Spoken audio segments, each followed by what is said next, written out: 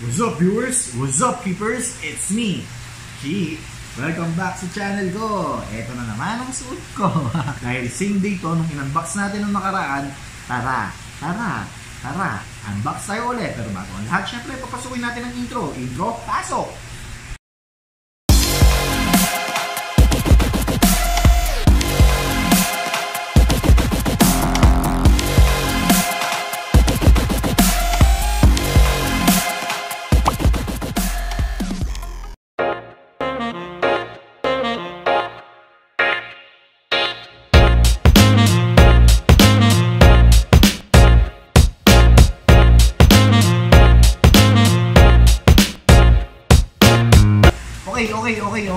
Nagmamadali tayo, nagmamadali tayo, nagmamadali tayo. Hindi, hindi, hindi. hindi. Tara, tara. Umpisa na natin mag-unbox. Unbox na natin ang Ocean Free Smart UVC Internal Filter. Ano, tara, tara, tara, tara.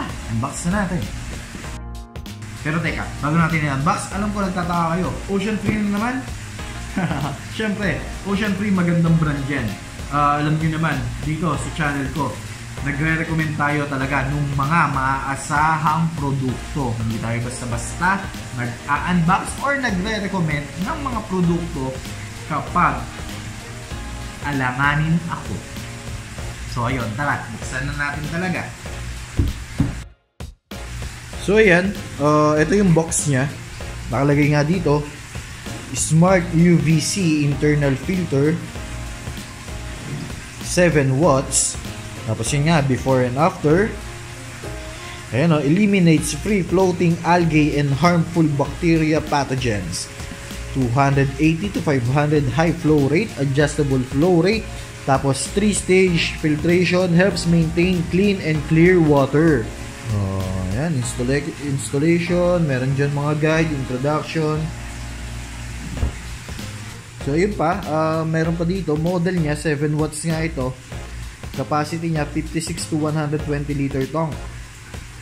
Flow rate niya 280 to 500 liter per hour. Pump power consumption 7 watts. Ayan, ayan, ayan. Ah, ano pa ba? So, yun. Top mounted yung pump. Adjustable bulb. Impeller. Ayan, ceramic shaft. Ceramic shaft. Ayan. So, tignan nyo na lang pag nabili nyo. Ang importante ay buksan na natin ngayon.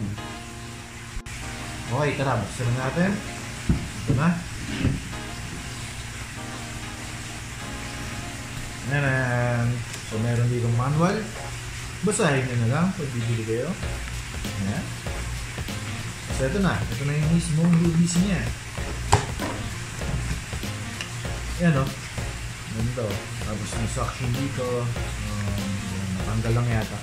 Ayan. Ay. Ayan, sorry. Ganito pala pagbalik. Ayan. Tapos ang sukat niya, ayos na sa box. Ang sukat niya is 10 inches. 10 inches height. Ayan. 2.25 inches width. Okay. So, yan, napakasimple niya. Ito yung sinasabi nila, adjustable yung flow kung saan mo gusto itapat. Tapos, um, ito, plus minus. Di ko alam kung para saan. Uh, check natin later. Tapos yun nga, uh, buksan natin.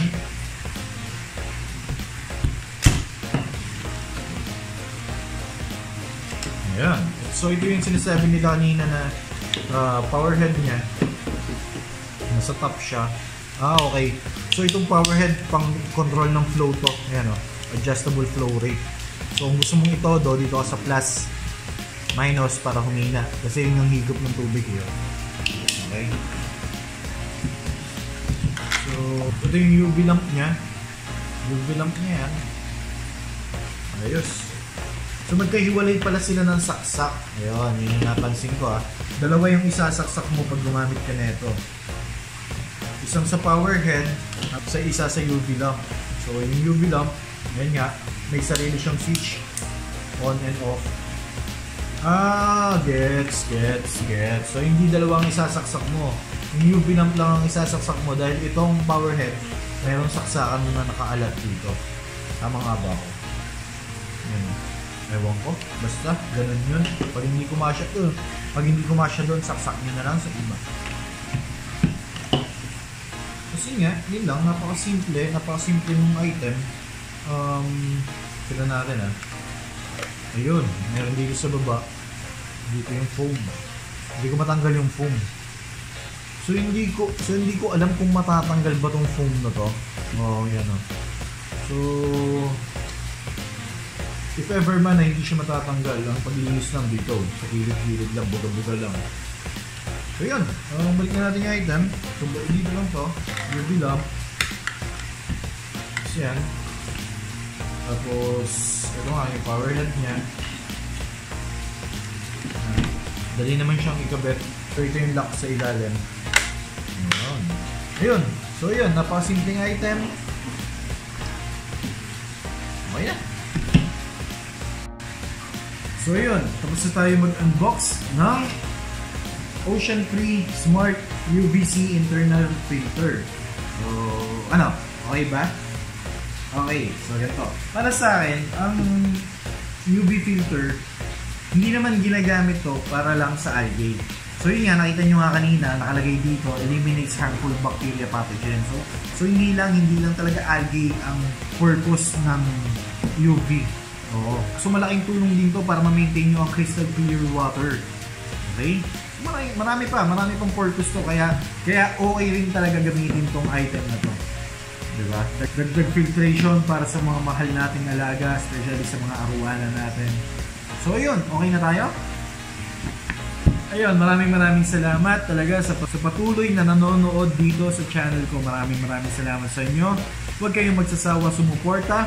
Nagkikis-kisa na naman ang HBRTG ko at RTG. Ayun, huwag na huwag kayong magsasawa sumuporta. At kung bago ka lang dito sa channel, huwag mong kalimutan mag-subscribe, i-share, i-like ang mga video ko, okay? Maraming maraming salamat. Bye-bye! Bye-bye! Bye-bye!